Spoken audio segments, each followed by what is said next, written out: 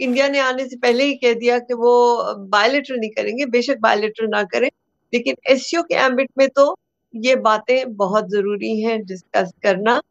फिर इस पे जो है फलस्तीन के ऊपर भी बात हो। जी जी।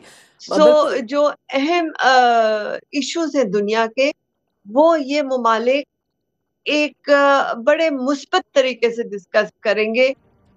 ये किसी पे उंगली उठाने की नियत से नहीं कर रहे। ये कर रहे हैं कि किस तरह हल निकाले जाए किस तरह हम हाथ पकड़ के इकट्ठे एक रोशन मुस्तकबिल की तरफ़ चले। ठीक है। नायला साहब मशरक वस्ती की सूरत हाल की आपने भी ज़िक्र किया और एस सी ओ के सरबराही इजलास की टाइमिंग की भी हमने बात कर ली। अब आप क्या समझती हैं इससे अमेरिका और मगरब को क्या पैगाम जाएगा? देखिए मगरब को तो पैगाम जानना चाहिए। कि जिस तरह मतलब एक जुल्म किए जा रहा है और उसको आँखें बंद करके सपोर्ट किया जा रहा है ये एक इंसानियत के साथ नाइंसाफी है। और यूएन में भी इस पे बहस हो रही है बात हो रही है।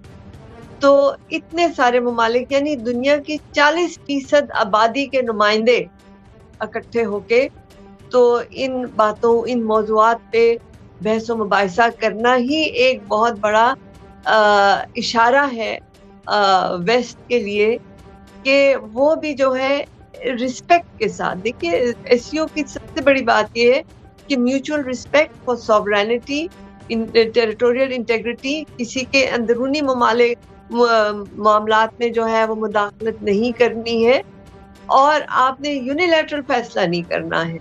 अगर कोई मसला है तो सबने मिल बैठ के उसको सॉल्व कर।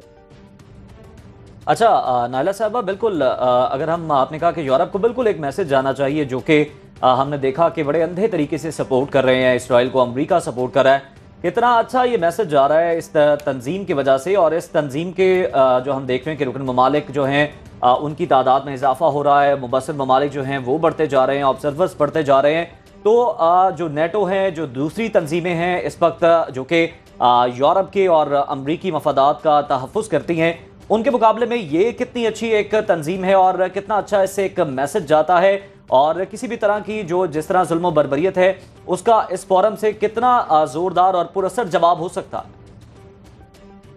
देखिए, जब ये 1996 में ऑर्गेनाइजेशन का आगाज़ हुआ था तो इसे शंघाई फाइव कहते उस वक्त इसका टोटल फोकस सिक्योरिटी पे था क्योंकि उस वक्त ये हम्म। ममालिक जो थे नए नए आज़ाद हुए थे सेंट्रल एशियन रिपब्लिक और उनको सिक्योरिटी के मसाइल थे।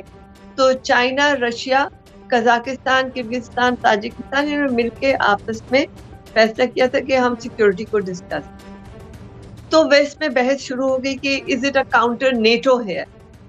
इन्होंने कहा नहीं